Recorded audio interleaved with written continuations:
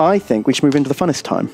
Yeah. The funnest time of all, which is otherwise known as Your Hammer. Oh, Lorehammer. Oh my god. If, you, if you're not familiar, this is when Tom and I each tell two stories of Games Workshop Warhammer lore, one of which is true, We need to get like one of which uh, we made up ourselves, and we have to guess which one is Lorehammer, which one is your hammer. here we go. Look, look. We've got to. We got to get like a logo up. Oh, you're going to draw us a lovely logo. Oh, it's beautiful. Uh, once again, could have used text. Yeah, but then you may as well just open up Word, That's true. not Paint. uh, we'll have to work on this. we can add to it each week. Oh, It can become an evolving collage. wow, that sounds beautiful. Um, here we go. Uh, so this is just also a way that we can more easily find this in the video later on. Boom. Smart for the Um, edits. Okay. Uh, well, as our reigning champion, I want you to go 1st because I've got a gambit I'm playing this week. Ooh, okay. A spicy gambit. Spicy Gambit. Okay, well, I can go first. Um, okay, you can choose between a story about centaurs Amazing. or a story about poop. What, like, do I even need to hear these stories? Because the poop one is obviously real. uh, okay. Um, I want to get rid of chat. Oh, yeah, yeah, minimize chat. No, Stop. che- no cheating, no peeking. Uh, give me is the um. Let, let me.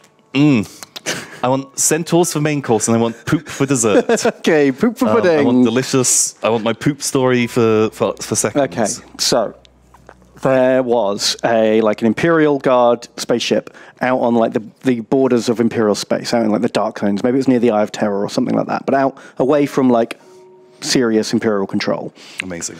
And um, they have a space battle with like pirates, and the ship is damaged, and so um, a whole bunch of people get to like the escape pods and like shoot down to the planet below, like um, you know, like a New Hope style. And there's one guardsman who's on a pod on his own, and he crashes down, and he's not near any of the other pods. He's been like scattered.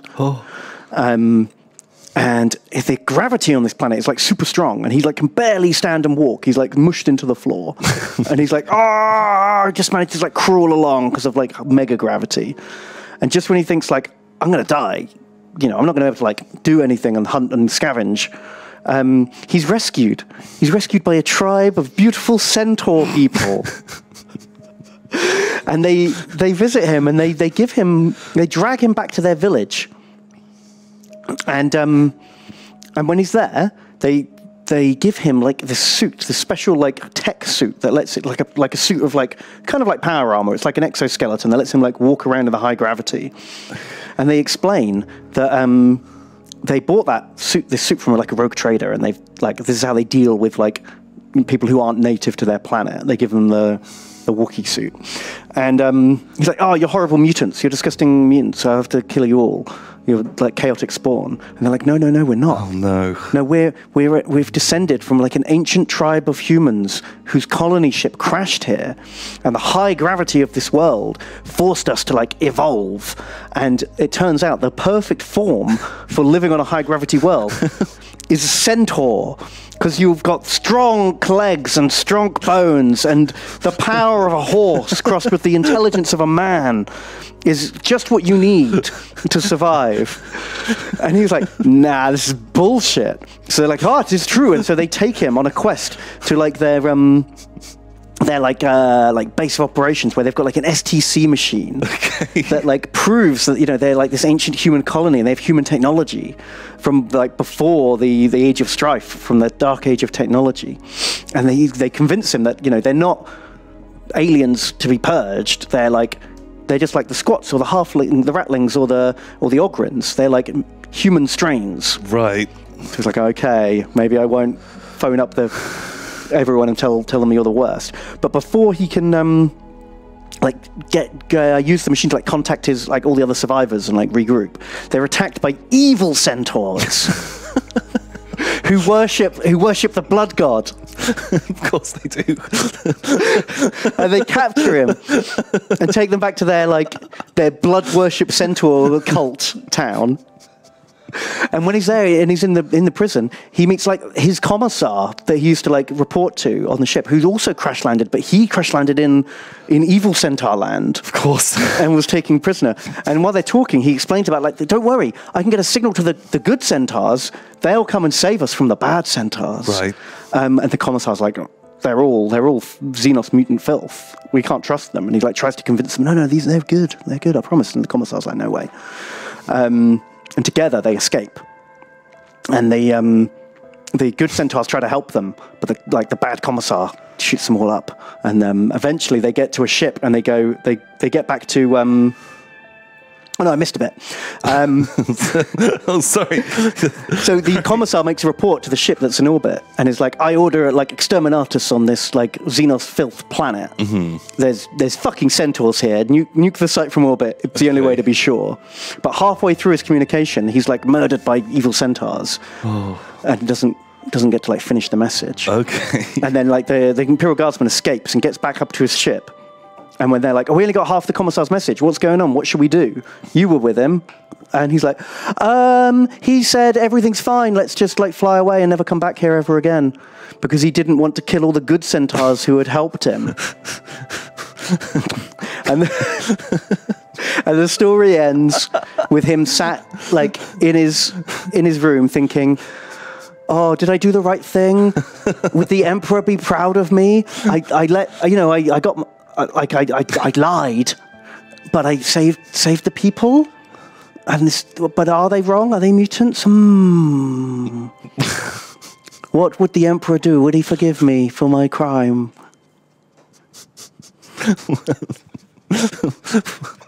that was quite the stream of just fucking.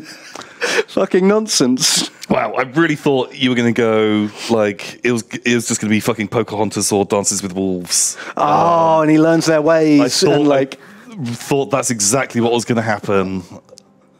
Um, and then but yeah, uh, it's just marked in Imperial records as like uncharted space, do not return. right, Nothing good here. So there, so they had the STC that is like this: press the magic button and you turn into a centaur.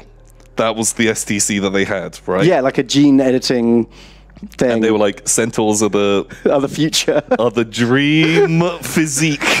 for high gravity world. Uh, okay, and so then there's suddenly there's chaos. Uh, um, Chaos centaurs. Chaos Centaurs. Mm-hmm. Okay, yeah, um, and they're bad. Uh, But he gets away and he finds enough love in his heart not to blow them all up from orbit.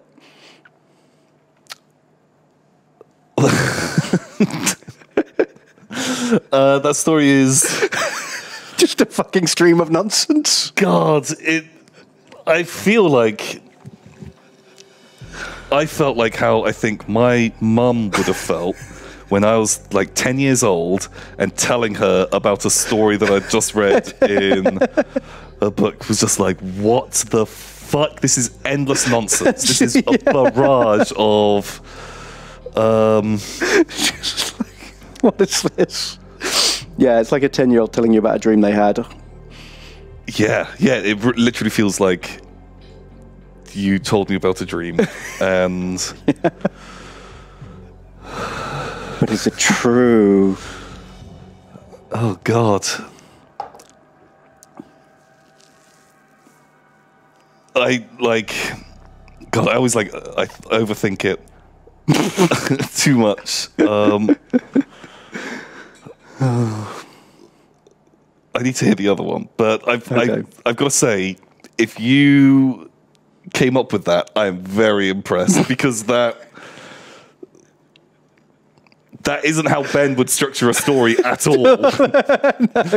But am I getting meta? Uh, yeah, like God, because already I feel like you play a better game of this than I do. Um, well, someone, the line, what did someone say Oh, yeah. last week? Tom Like, is playing the game, Ben is playing Tom. Yeah, so I think like yeah, I'm here. Uh, I'm not even playing fucking drafts. I'm just You're playing smashing 4. bugs, and you're playing 4D chess. uh, okay, cool. Um, okay, right. Hit me, hit me with the poop story. Okay. could all. I'm just So- baffled. There's this rogue trader, right? And he um, trades with like alien species and then brings the things back to like Hive World to like sell to like rich nobles. And one time he's um, he's trading with like some Eldar um, pirates. And he's like, um, you know, he's giving them what they need. He's getting some weird artifacts from them that he can like offload somewhere else. Um, and while he's doing it, um, he's had a like a part of his mission was to like give someone a lift, and he's like dropped them off. He's given this like um, this like, Eldar ranger um, as like had a lift with him because he's like, oh yeah, I'm I'm going to meet the the Eldar pirates, so you can fly with me to there. Drops off his passenger, picks up his like um, stuff, and then flies off to like sell off his loot to the, the next hive world. But while he's going there, he, he checks out the room that this like Eldar was staying in, and um, there's like these crystals, these like like weird like smooth polished crystals that sort of smell like flowers, and he's like, oh, this is weird. Um, they are interesting. He must have just left some of his stuff here, but I don't want to go all the way back because they're like off in their like pirate asteroid base. Well, I'll just I'll see if I can sell these. So he goes to his um, his like hive world and he speaks to like the, the grand houses and the posh posh hive top of hive people. And he sells like off, sells off these weird alien artifacts for like fortune in credits. And um, then he, and he sells these like polished crystals off too. And someone buys them because they're like a weird curiosity. Um, and he carries on doing his thing and he meets up with some more people sells somewhere else. And when he comes back to that planet like a year later they're like have you got any more of these crystals? They're amazing. Oh no. and um, he's like, "Oh, uh, no, but I can get you some. Why?" And he's like, "It turns out if you like, um, if you boil them um, and and then drink the tea, it, they're like a super drug. Ooh. They like just like blow your mind. Um, they give you like tripped out visions and stuff. They're all the rage. We've run out. We desperately need more." Um, so he's like, okay, cool. Well, um, so he goes off and he like meets up with some some Eldar and he's like tries to explain what it is that he wants, and they're like, what do you mean? He's like, no, they're like Eldar crystals and they smell like flowers and they um, Okay, okay. I think I can see where this is going now. Um, and they're like, do you do you mean these? He's like, yeah, yeah, brilliant. I'll, I'll can I? I want as many as you can sell me. Like these, this is like this is like our bodily waste. and he's like, what?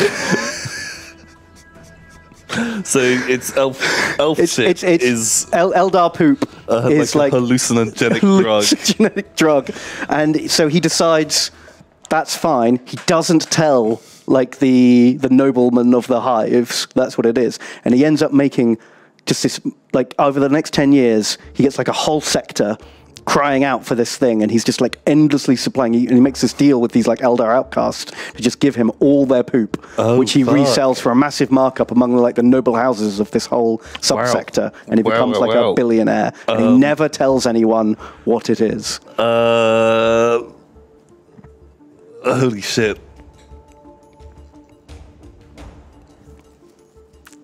Okay, so he sells elf elf elf poo elf's poo crystals, yep apparently.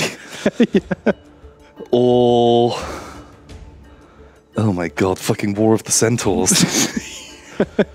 uh Uh, wow.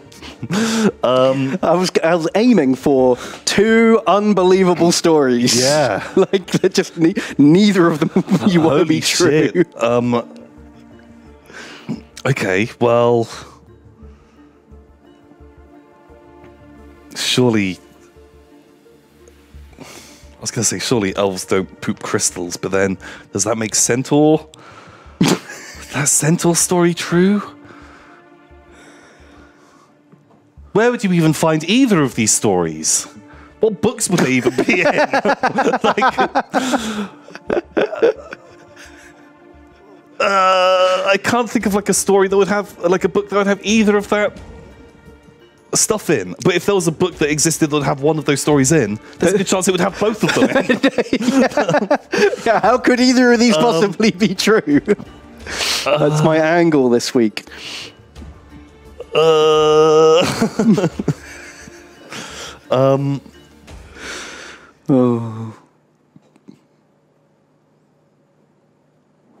uh, I'm uh, fuck. I, I don't know. I'm gonna go, uh, I'm gonna go with follow your heart, Tom. okay. maybe maybe you'll just um. There's no way. There's no way I'm ever gonna let you sneak a poo story past me. uh, so, because that that's like a very dishonorable thing in your hammer or lore hammer. If you get fooled by a poop story, that's very bad. Um, oh, have you got? Because I've done two poop stories so far, and you've got them both right. No, I've only. I think I got. No, I've got like basically everything wrong apart from our trial week.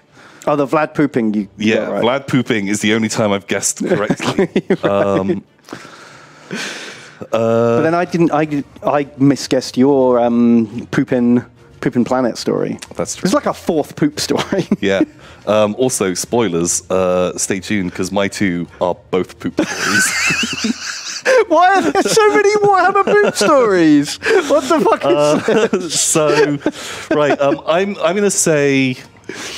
I think that um, the. I think the centaurs is real, just because I don't want to get fooled by poop, and I, in turn, that is so incoherent that I don't think you would have written that.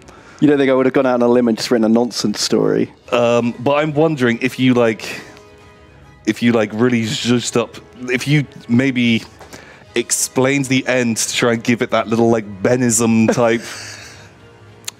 and he has this moral quandary at the end of the day. Like that. When you said that, I was like, oh. Like, I don't know. It, I think that one is true just because I don't hmm. think it. I don't think you would have made a story that just nonsensical. Right. God, but then elf poo? Do they act? I'm going to say that. Wait, which one am I saying is true? That you made up elf poo. Elf poo is your hammer, and centaurs is law hammer. The war centaur war is your hammer. Oh, they're both idiotic. um, but Okay, the, final answer. yeah, that's the final. That's the final one. Okay, Um, centaurs is law, and elves is your. Yeah, it's a bit of a. one? It's a very. God, every week for me, it's a coin flip. I'm just like, no idea. Uh, Let's see what chat thinks. what is chat thinking? Um, Uh, oh, they're split. Chat is split for the first time ever.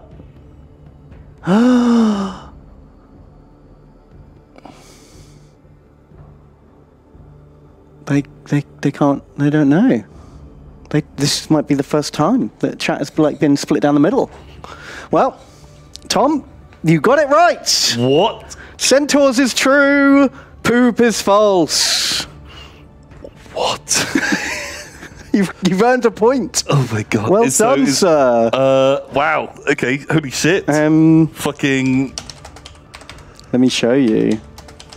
Where even? Where even was that story? So there's this. Uh, no, Into the maelstrom. into the maelstrom. There's this compilation of short stories from the 90s. I've Never even heard. Oh fuck. Okay, it's from the nineties. Like yeah. I've, You, you'll recognize the oh, I recognize the book. Oh shit, man! I do remember seeing this. and um, where is it? It's Children of the Emperor. This one, and it literally reads like I said it. It's just fucking nonsense. Uh, oh, shit, I'm not going to sit here and read the whole thing. I just want to see the end. Back aboard.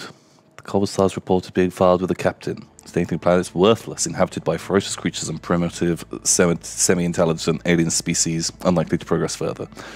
Report then drops off mid sentence, explaining that no further action should be taken. Captain accepts it and forwards it to Adeptus Terra. Hart- Hartum, sitting in his cell, reflects on his actions, altering the commissar's already open report to protect the centaurs. Fuck me. Uh, as well as Floss facing. Oh my god, it has it literally has that fucking. That's why I thought it was perfect. Oh shit! Like, I thought you would like. I wouldn't have added that on if it wasn't already in there. I thought you would like just embellished a little bit. Um, fuck me! Wow. Uh, there's a whole bit about a millipede monster that I missed out, What? sure. where they try to hunt Okay, down yeah. fucking Well, millipedes. well, they just get attacked by millipedes. and- Great. That sounds like that. Who fucking wrote this? Barrington J. Bayley. That's a made-up name if I ever heard of one. Not only that, but this was re- there's like three more anthologies that have that same fucking story in it. Like they reprinted this like three Why? times. I have no idea. It sounds fucking terrible. Is it really good? Is it that? Is that the best of these compilation stories? maybe? um, yeah, here we go. Like the Galaxy Burn, like reprinted it for some reason. Uh, Children of the Emperor there Oh, in 2006. oh my god! Mental. Wow. And there we go. Okay. We so I broke the the kill streak. Um, Did yeah? that feels- back in the game now. that feels good.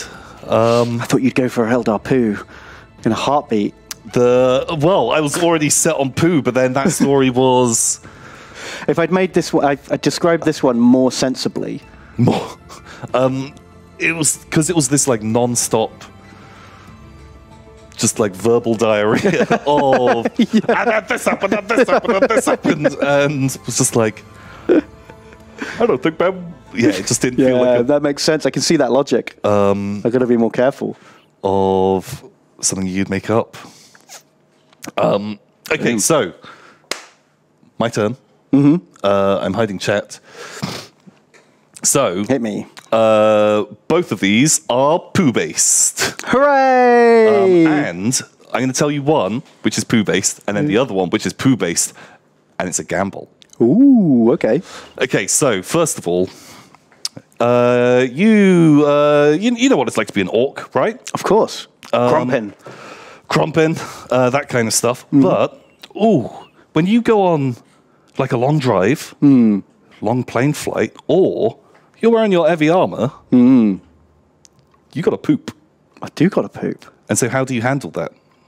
I assume I just poop and then throw it at the nearest grot. No, no, no. uh, so there's a type of squig called a drop squig, and uh, you would put the squig into your your pants, Yep. Um, into the cockpit of your plane or your car or whatever, And does it just eat your poop? and it eats your poop. Bonus Mm-hmm. at the end of the trip, uh, or when it's full, or if it falls out, um, you eat it. Oh, tasty treat.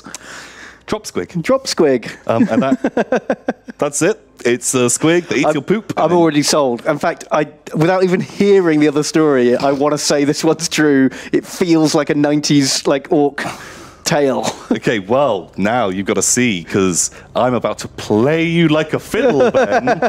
in, um, I thought I'd up my game, and I'm going to try and mind game the shit out. Of you. Oh, okay. Uh, so, I am 99% sure that you have read Ian Watson's Space Marine. I have. When Uh, it, but like when it came out, which Yeah. was like a long time ago. I would have been like 12 or something. Okay, perfect. So, I'm going to tell you a poo story from that book that I know you have read. and Okay. is this true or am I making it up? Ooh. Okay. So like, yeah, this like this was a book I read like 18 years ago. Hit me. So, right. This is a um, real gamble. yeah, I yeah, might yeah. just remember it. Yeah, that's it. That- that's the. more uh, more shame on me if I don't. That's it. Um, so at the Bold. end of uh, that story, Hmm. there's like a main character. Mm-hmm. Oh, he was in the hive. he became an Imperial Fist. Mm-hmm. He fucking saw chaos or something. I don't know. Um, and there's a chaplain, Mm-hmm. and he has to confess oh, to the chaplain. Um, and ceremonially, Mm-hmm. the chaplain absolves him of his burdens and then takes a ceremonial shit, and that is how he cleanses the guy. Who shits? The chaplain. The chaplain does a So the chaplain takes on his like His, his, like- sin, yeah. and then poops it out. He poops it out. Oh my god. Okay, so, did that happen in that book? I don't remember that you, happening. Uh, but I do remember there is a chaplain, Mm-hmm. and there is the main character, and the chaplain is constantly like hassling these guys. These because they start off as they start off as gangers in the Underhive. Yeah, yeah. And then they're such badasses that they get like taken into the Imperial Fist like recruitment program, Mm-hmm. and then there's three of them. These three like brother. They're not brother. They're like you know gang brothers. yeah. And I think one of the, the other two die, and the main one like survives, and he's like racked with guilt at the end. And the whole way through, the three of them like training up, becoming like initiates and scouts, and Mm-hmm. eventually Marines. There's this one chaplain who's on their case the whole time. Oh, yeah, and he like puts them in the pain glove, uh, which is like a bodysuit that like electrocutes all your Oh yeah, nerve I know. I know all about this Just letting chat know. Um, I know you know. because uh, yeah, I didn't take this game way too seriously and choose an old book that I know you've read and read it Did you read the whole book? uh, to play a. Fun, didn't just read the play a fun wiki? game. Uh, well, we'll see, man. We'll see. Oh, fuck. Do I know more about this book than you do? Now I remember at the very the very end is ridiculous because um, this is a book like to show you how ridiculous this book is and why that could be true. Because the end of the book is um, one of the things he does is he practices scrimshawing. He takes like uh, bones of fallen brothers and he like etches names into them, and then they like are put up as like relics. Yeah, yeah, yeah. And so in the end, he's so grief stricken by his like fallen brothers and how he failed them, he plunges his fist into acid, melts off all his flesh, and then etches his brothers' names onto his like skeletal hand before getting it like apothecaried meat yeah. back onto it. Yeah, they roll the uh, dice and the. They put him in the meat machine. Yeah, um, so that's how absurd this book is. Like Mm. that shit just goes down. yeah. There's a lot of wacky, wacky things going on. Ah, I fe- I, but I feel like I would remember a fucking ceremonial shit. But then maybe I just like it just rolled into all the other nonsense. Um.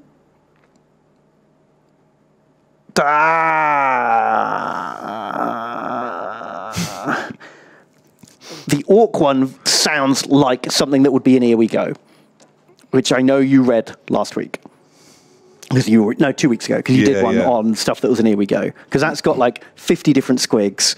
And Oh, it yeah, explains what they all do. There's a lot of uh, a lot of squigs in that book. And I feel like a drop squig is, There's a lot of um, is, is very believable. They could both be true, but because I don't remember the poop and I l- believe the squig, I'm going to go squig is Lorehammer and poopy Chaplain. fuck. your hammer. Even though great shame on me if you sneak past a poop story and of a book that I've read. Great shame on my house. but I'm not taking the bait. Okay, cool. Right, I don't even want to look at chat.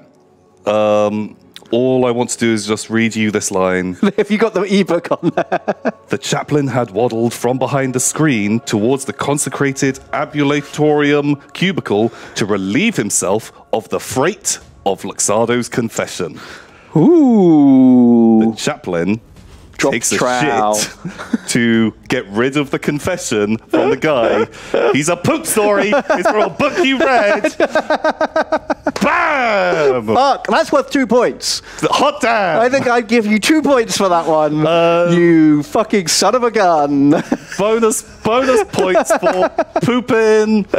Oh, oh, I was thinking like, God, this is such a gamble it's a real gamble. because I knew that you had read that book and was like, will Ben just know? when, when did it come out? I want to know how many years it's been since I've read that book. was it 1993?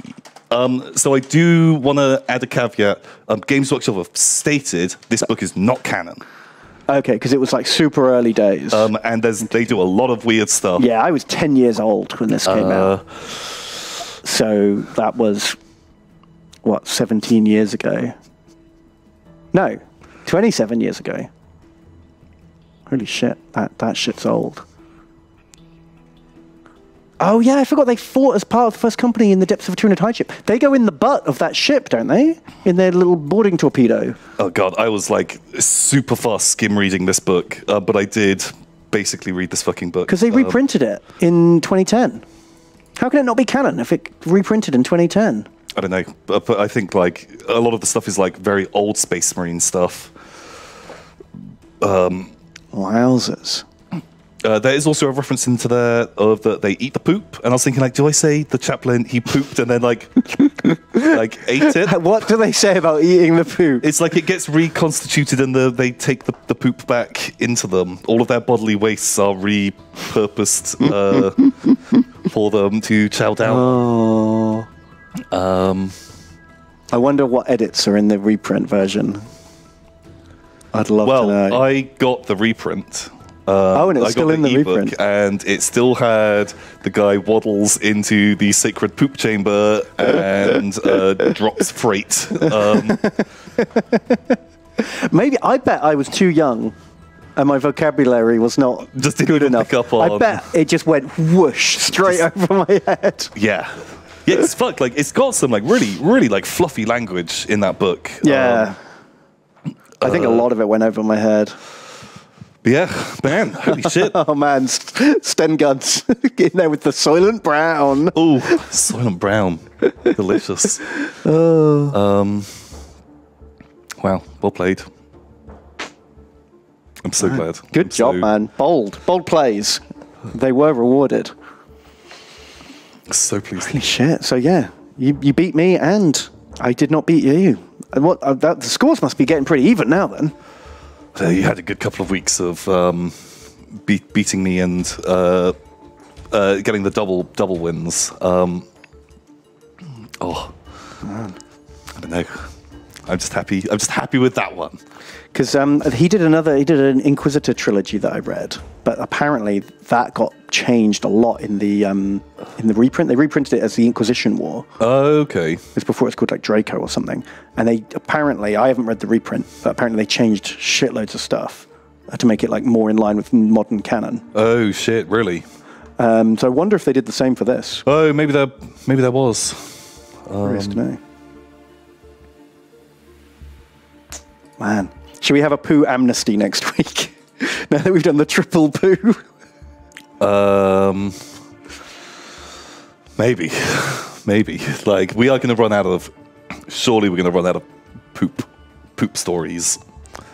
Well, I feel like at this point we're going to, um, if we keep searching for poo stories, we're going to overlap. Yeah. Yeah, that's true. Oh, man, How? job.